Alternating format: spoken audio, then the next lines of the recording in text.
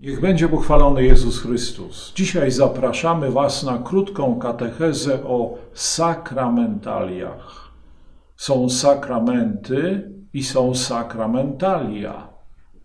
To jakby coś mniejszego. Jest sklep, czasami bardzo duży, supermarket i jest sklepik, taki osiedlowy. Jest obraz i jest mały obrazek które mamy w brewiarzu albo w modlitewniku. Sakramenty to widzialne znaki niewidzialnej łaski. Jest siedem sakramentów świętych, choć niektórzy żartobliwie mówią, że sześć, bo małżeństwo i pokuta to jedno, ale myślę, że jest siedem. A sakramentaliów jest o wiele więcej. Czym są sakramentalia? Otwieram katechizm Kościoła katolickiego, i czytam.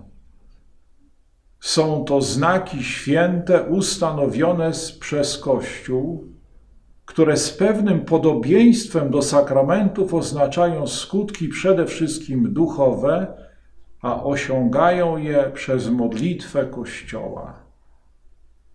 A zatem ta definicja podkreśla podobieństwo do sakramentów i to, że sakramentalia są także skuteczne, że przynoszą nam jakieś dobro. Może nie tak wielkie jak sakramenty, ale na pewno dobro duchowe. Dlatego czytamy dalej w kolejnym paragrafie.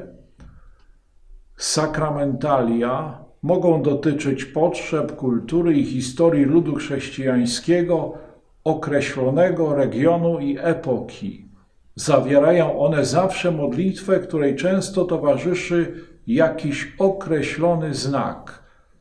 Włożenie ręki, znak krzyża, pokropienie wodą święconą.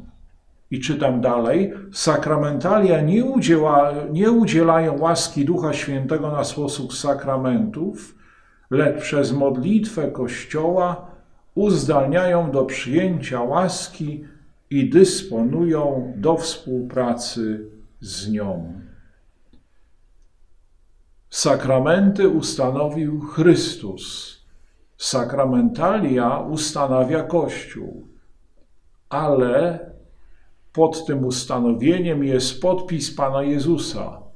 On wyraźnie powiedział do Piotra: Co zwiążesz na niebie,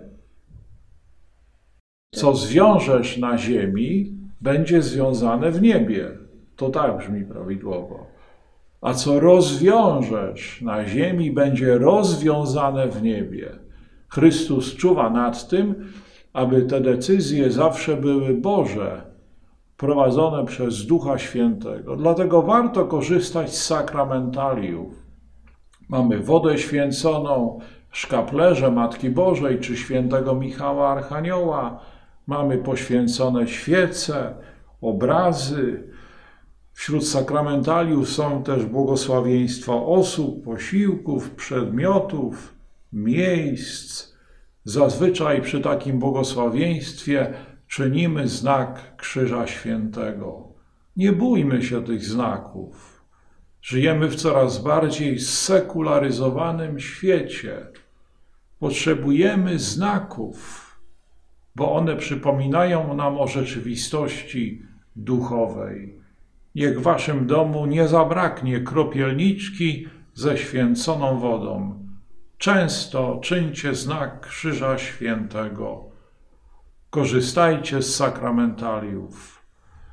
Miejcie wielką wiarę, bo one działają w oparciu o wiarę.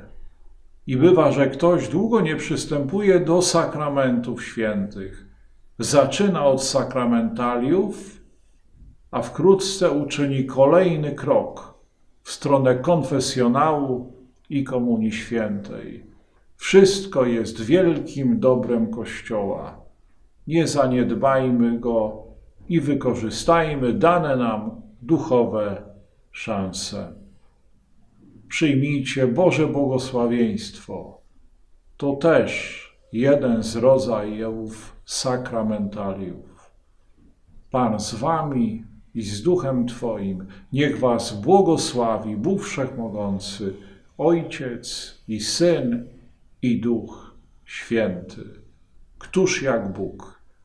Zapraszamy na kolejny odcinek. Jeśli macie propozycje pytań albo tematów, które moglibyśmy dla Was podjąć, zostawcie informacje w komentarzu. Z Panem Bogiem.